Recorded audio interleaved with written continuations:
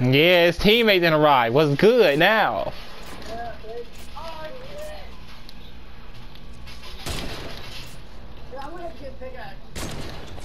Let's go!